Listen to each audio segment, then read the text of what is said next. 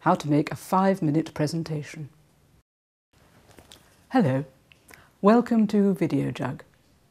I'm Vera Hughes and I'm the co-author of Teach Yourself Setting Up a Small Business. And I'm going to advise you on how best to approach making a five-minute presentation. At networking and other business meetings, you're often given the chance to stand up and present your own business. Now do seize every opportunity that you're offered.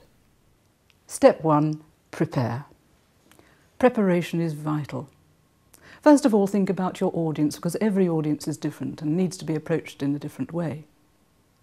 Write down what you think they know already, what you want them to know and what you want them to do. This will lead you nicely into the content of your short talk. You'll want to highlight what your business is offering and what sets it apart.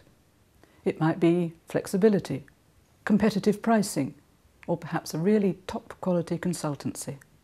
Think about visual aids.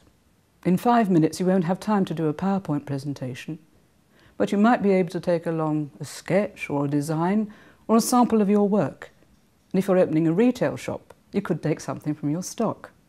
If this is your first presentation, you might like to jot down the main points on colour-coded cards. It'll keep you concise and on track. Oh, and do write big enough so that you can read it. Step two, rehearse. Assemble your marketing material. Take enough flyers and brochures and business cards for what you'll need at the meeting. Rehearse in front of a mirror or a friend and time yourself so that you become familiar with everything that you want to communicate within the allotted time.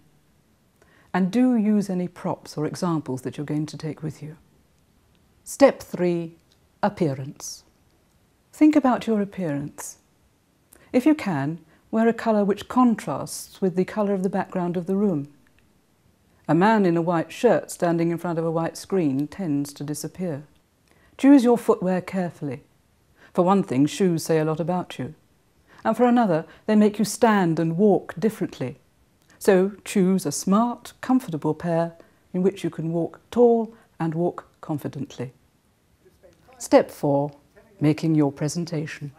When you stand up to make your presentation, check the starting time so that you can be sure to stick to the allotted time. Take a few deep breaths just to steady your nerves. Stand tall and balanced with your head up. Don't lean on the furniture and don't fidget. Say your name and the name of your business clearly. If you're using cards, hold them in one hand. Don't put them on the table. Otherwise you'll find you're talking to the table and not to your audience. Oh, and do embrace the whole group. Turn your whole head and body towards them. Sometimes you'll find a nodder in the group, and it's very tempting to talk exclusively to somebody who seems to be agreeing with you. Make your two or three main points slowly and clearly with a slight pause between each and demonstrate as appropriate. Refer to your printed marketing material, but don't hand it out during the presentation. Make sure it's given out either before your presentation or after it. And do end on a positive note with a call to action. Step 5. Follow up. Hand out your flyers and business cards as appropriate. And have a pen and a notebook handy so you can jot down details of any contacts that you've made and follow these up within 48 hours. Now, congratulate yourself on a great presentation.